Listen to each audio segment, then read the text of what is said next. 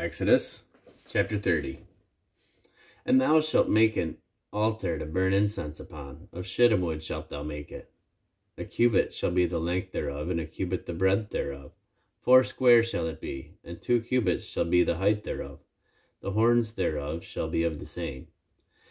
And thou shalt overlay it with pure gold, the top thereof, and the sides thereof round about, and the horns thereof, and thou shalt Make unto it a crown of gold round about. And two golden rings shalt thou make to it under the crown of it, by the two corners thereof. Upon the two sides of it shalt thou make it, and they shall be for places for staves to bear it withal. And thou shalt make the staves of shittim wood, and overlay them with gold. And thou shalt put it before the veil that is by the ark of the testimony, before the mercy seat that is over the testimony, where I will meet with thee.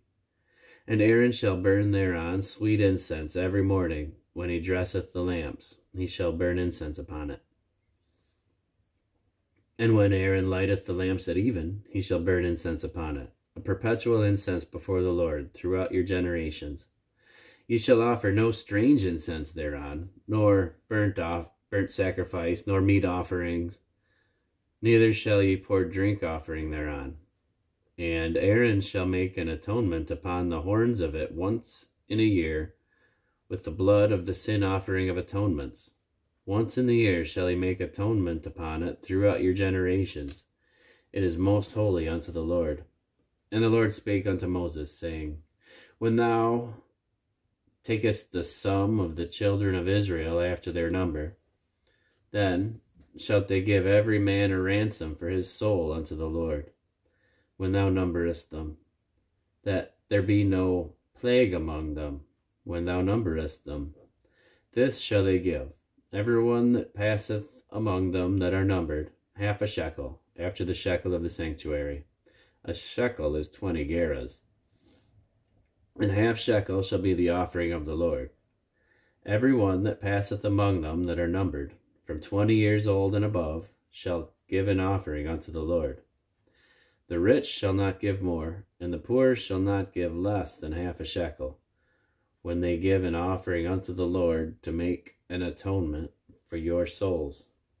And thou shalt take the atonement money of the children of Israel, and shalt appoint it for the service of the tabernacle of the congregation, that it may be a memorial unto the children of Israel before the Lord, to make an atonement for your souls. And the Lord spake unto Moses, saying, Thou shalt also make a laver of brass, and his foot also of brass to wash withal, and thou shalt put it between the tabernacle of the congregation and the altar, and thou shalt put water therein.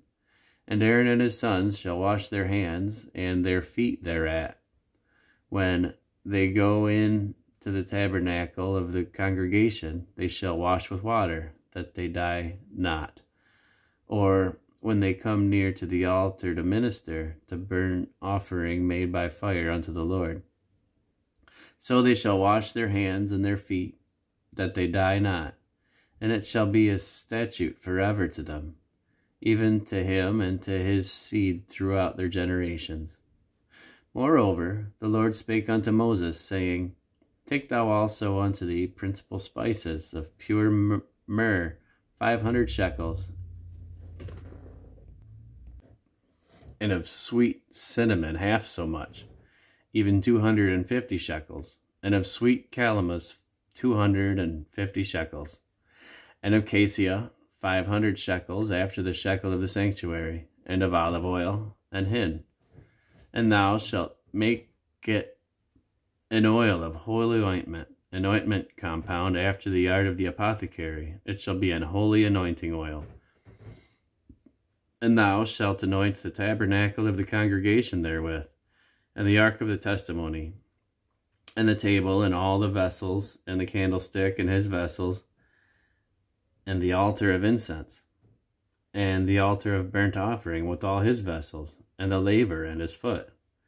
And thou shalt sanctify them, that they may be most holy. Whatsoever toucheth them shall be holy and thou shalt anoint Aaron and his sons, and consecrate them, that they may minister unto me in the priest's office. And thou shalt speak unto the children of Israel, saying, This shall be an holy anointing oil unto me throughout your generations. Upon man's flesh it shall not be poured, neither shall ye make any other like it, after the composition of it. It is holy, and it shall be holy unto you. Whoso, whosoever compoundeth any like it, or whosoever putteth any of it upon a stranger, shall even be cut off from his people. And the Lord said unto Moses, Take unto thee sweet spices, stacte and onycha and galbanum, these sweet spices with pure frankincense.